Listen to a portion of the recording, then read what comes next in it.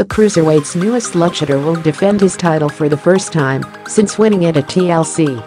What's the story? WWE announced today that Enzo Amore will get a chance to win back the Cruiserweight Championship against Kalisto at the TLC pay-per-view.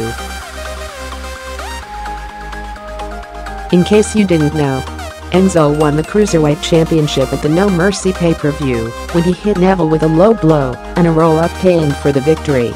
The next night on Monday Night Raw, Enzo was attacked by Braun Strowman, Neville and the rest of the Cruiserweight division which resulted in the entire division losing their chance at challenging for the Cruiserweight Championship.